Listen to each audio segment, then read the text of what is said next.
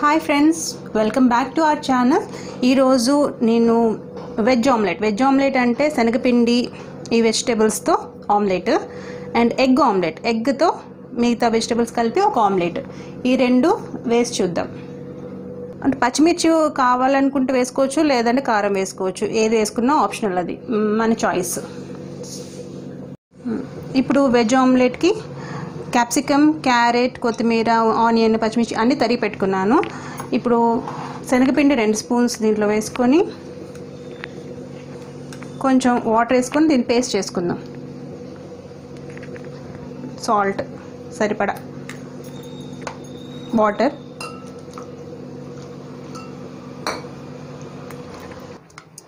చూడండి ఇలా కలుపుకోవాలి. ఉండలు లేకుండా చక్కగా పేస్ట్ లాగా చేసుకోవాలి.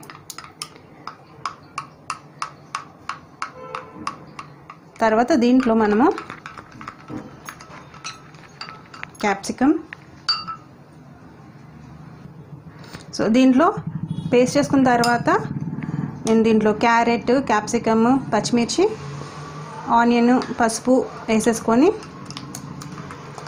ఇలా కలుపుకున్నాను. దీన్ని ఆమ్లెట్ వేసుకున్నాను ఇప్పుడు ప్యాన్ హీట్ చేసుకున్నాను. హీట్ చేసిన ఆయిల్ ఏం వేసుకోలేదు. డైరెక్ట్గా అలాగే వేసేసుకుంటున్నాను. దీన్ని దీనిపైన లైట్గా ఆయిల్ వేసుకుంటాం కాసేపు అలా దాన్ని చిన్న సెగ పైన మనం చిప్పెట్టుకుందాం చూడండి ఇలాగా మనకి పొంగుతుంది కదా ఇది పొంగుతుంది అని అంటే అవుతున్నట్టు అర్థం. సో మనం తిప్పేసుకున్నాము. ఇప్పుడు కూడా చిన్న ఫ్లేమ్లో మనము రోస్ట్ చేసుకుందాం అలాగా. ఒక వన్ మినిట్ తర్వాత తిప్పేసుకుందాం. తర్వాత ఇలా ప్లేట్లో తీసేసుకున్నాను. గార్నిషింగ్ కోసం కొంచెం కొత్తిమీర అంతే. వెజ్ ఆమ్లెట్ రెడీ ఎగ్ ఆమ్లెట్కి టూ ఎగ్స్ పచ్చిమిర్చి. పచ్చిమిర్చి ఆప్షనల్ పచ్చిమిర్చి కానీ కారం కానీ పసుపు ఉప్పు కొత్తిమీర క్యారెట్ క్యాప్సికమ్ ఆనియన్స్ అన్ని తరిగి పెట్టుకున్నాను.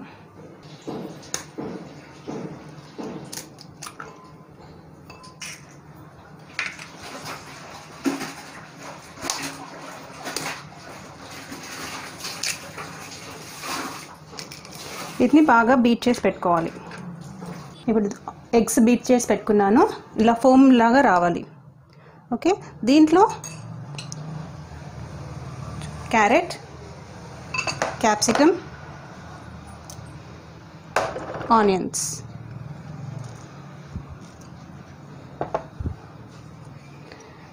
కారం సరిపడా చిల్లీ.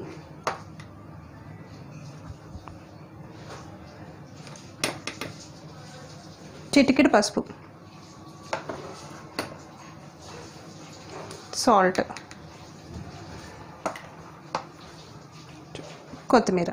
సో అన్ని కలర్స్ దీంట్లో ఉంటాయి. చూడడానికి కలర్ఫుల్గా ఉంటుంది. పిల్లలకు కూడా చాలా ఇంట్రెస్టింగ్గా ఉంటుంది తినడానికి.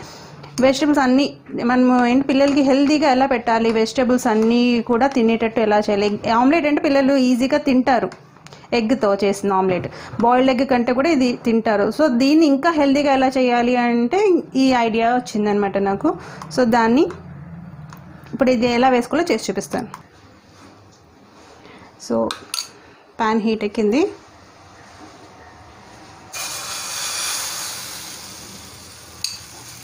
ఆమ్లెట్ ఎగ్ కొంచెం ఇట్లాగే జారుడుగా ఉంటుంది. మనం టూ ఎగ్స్ తీసుకున్నాక మొత్తం ఫ్యాన్ ఫుల్ ఫుల్ ప్యాన్ అంతా నిండిపోయినా పర్వాలేదు మనం ఈజీగా తీసుకోవచ్చు. ప్రాబ్లం ఏం లేదు. చిరిపోతుంది అలా అని ఏమనుకోకర్లేదు దీన్నే మనం ఫోర్ పార్ట్స్గా కట్ చేసి పిజ్జా లాగా చేసుకోవచ్చు.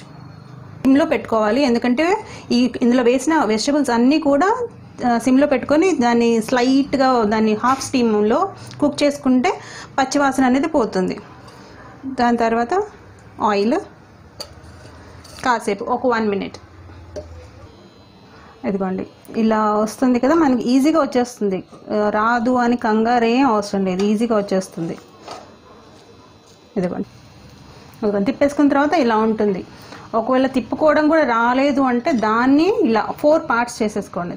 చేసేసుకుని ఒక్కొక్క పార్ట్ని ఇలా తిప్పేసుకోండి. తిప్పేసుకుంటే మీకు ఈజీగా ఆ పిజ్జా లాగా లుక్ వస్తుంది సో వన్ మినిట్ వరకు దాన్ని కింద రోస్ట్ సిమ్లో పెట్టుకుని రోస్ట్ చేసుకోవాలి. రోస్ట్ చేసుకున్న తర్వాత ఇప్పుడు చూడండి ఇలా.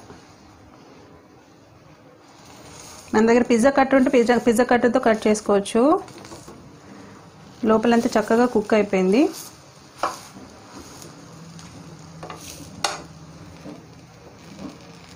ప్లేట్లో egg omelette with vegetables ready.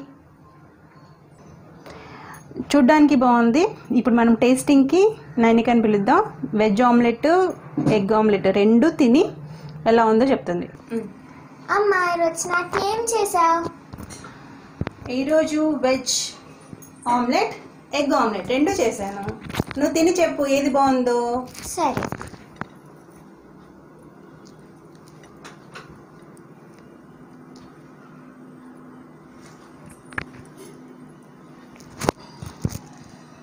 చాలా బాగుంది.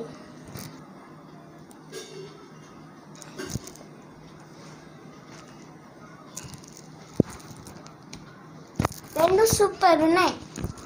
రెండింటికి ఏది దేనికి ఎక్కువ మార్క్స్ వేస్తావు? రెండు చాలా బాగున్నాయి. Okay thank you